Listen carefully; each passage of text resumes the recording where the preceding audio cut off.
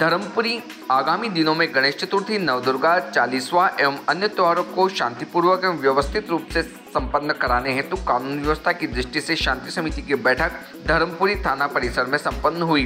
बैठक में बताया गया कि शासन के आदेश अनुसार आगामी त्योहार मनाए जाएँगे। बैठक को संबोधित करते हुए तहसीलदार योगेंद्र सिंह मौर्य ने बताया कि सभी कार्यक्रम सीमित संख्या में होंगे, कोई भी कार्यक्रम सार्वजनिक नहीं होंगे।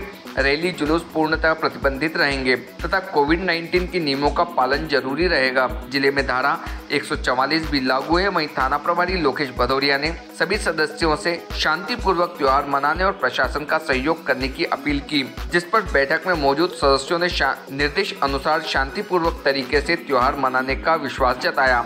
भारतीय न्यूज़ के लिए धर्मपुरी से ज़फ़र अली की रिपोर्ट। आने वाले आगामी त्यौहार जैसे जैसे गणेश चतुर्थी और चहल्लुम नौ दुर्गा त्यौहार आने वाले हैं। इस संबंध में कोविड 19 के तहत जो जिला दंडाधिकारी और मध्य शासन द्वारा जो गाइडलाइन जारी की गई है, उस संबंध में यहाँ के प्रबुद्ध नागरिकों और शांति समिति के सदस्यों को बताया गया कि कैसे हमको आने वाले आगामी त्यौहार मनाया जाना है।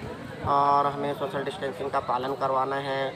साथ ही जो मूर्तियाँ हैं तो प्लास्टर ऑफ़ पेरिस की मूर्तियाँ ना उपयोग करते हुए हमें अधिक से अधिक संख्या में मिट्टी की बनी मूर्तियों का उपयोग करना है, जिससे जल प्रदूषित ना हो और जल स्वच्छ रखे साथ ही ये भी इनको बताया गया है कि ज़्यादा भीड़ भाड़ इकट्ठी ना करें जो भी पंडाल और सार्वजनिक स्थान पर लगे, खुले जगह पर लगे और किसी प्रकार की रैली और आयोजन, सांस्कृतिक आयोजन नहीं होंगे।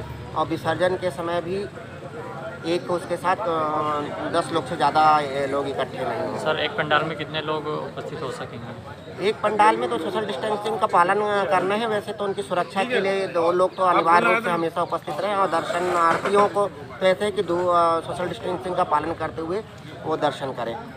Subscribe now to most exciting channel ever.